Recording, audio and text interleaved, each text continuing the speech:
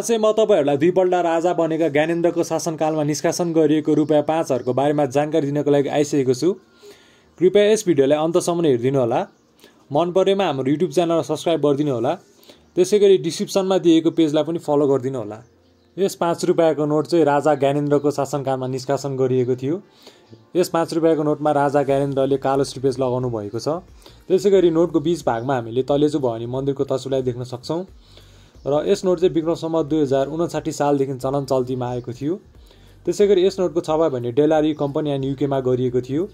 यो नोट चाहिँ त्यस्तै अस्सी मिलियन जति छपाई गर्नलाई पठाइए तापनि पाँच पोइन्ट पाँच मिलियन जति मात्रै छपाई गरिएको थियो।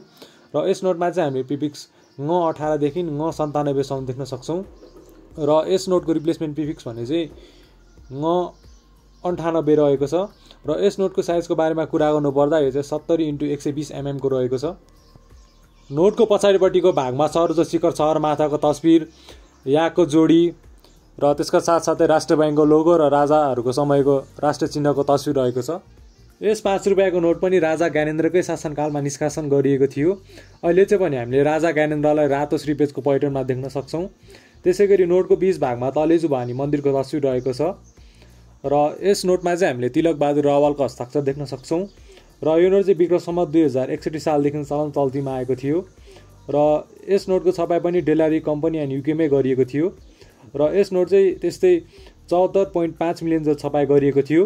र यस नोटमा चाहिँ हामीले प्रिफिक्स ङ उनासयदेखि च तिहत्तरसम्म देख्न सक्छौँ। र यस नोटको रिप्लेसमेन्ट प्रिफिक्स चाहिँ च तिहत्तर रहेको छ। र यस नोटको साइजको बारेमा कुरा गर्नुपर्दा यो चाहिँ सत्तरी इन्टु एक सय बिस एमएमको रहेको छ।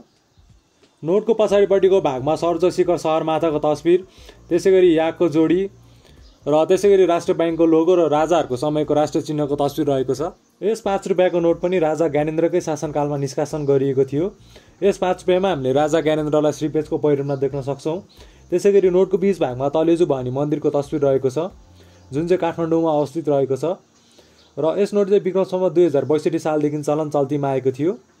यस नोटको छपाई चाहिँ पेरुम पेरुरी इन्डोनेसियामा गरिएको थियो। र यो नोट चाहिँ त्यस्तै बयालिस मिलियन जति छपाई गरिएको थियो। र यस नोटमा चाहिँ हामीले प्रिफिक्स च चौहत्तरदेखि छ सोह्रसम्म देख्न सक्छौँ। र यस नोटको रिप्लेसमेन्ट प्रिफिक्स चाहिँ छ चौध रहेको छ। र यस नोटको साइजको बारेमा कुरा गर्नुपर्दा यो चाहिँ सत्तरी इन्टु एक सय बिस एमएमको रहेको छ।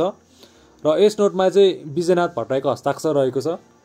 नोटको पछाडिपट्टिको भागमा सर्ज शिखर सहरमाथाको तस्बिर त्यसका साथसाथै याकको जोडी राष्ट्र ब्याङ्कको लोगो र राजाहरूको समयको राष्ट्र चिन्हको तस्बिर रहेको छ। यस पाँच रुपियाँको नोटमा पनि विजयनाथ भट्टराईको हस्ताक्षर रहेको छ। पहिलेको नोटमा श्री पाँचको सरकार लेखिएको थियो भने अहिलेको नोटमा चाहिँ नेपाल सरकार लेखिएको छ। र त्यसै गरी पहिलेको नोटमा चाहिँ प्रिफिक्स र सिरियल नम्बरको बिचमा ग्याप थियो भने यसमा चाहिँ अहिले ग्याप छैन। र त्यसै गरी अरू डिजाइनहरू भने लगभग लगभग सबै उस्तै नै रहेको छ। र यस नोट चाहिँ विक्रमसम्म दुई हजार त्रिसठी सालदेखि चलन चल्तीमा आएको थियो। र यस नोटको छपाई चाहिँ डेलारी कम्पनी एन्ड युकेमा गरिएको थियो। र यस नोटमा चाहिँ हामीले प्रिफिक्स छ सत्रदेखि ज सोह्रसम्म देख्न सक्छौँ। र यस नोटको रिप्लेसमेन्ट प्रिफिक्स चाहिँ ज सत्र रहेको छ। र यो नोट चाहिँ त्यस्तै एक सय एक मिलियन जति छपाई गरिएको थियो। र यस नोटको साइजको बारेमा कुरा गर्नुपर्दा यो चाहिँ सत्तरी इन्टु एक सय बिस एमएमको रहेको छ।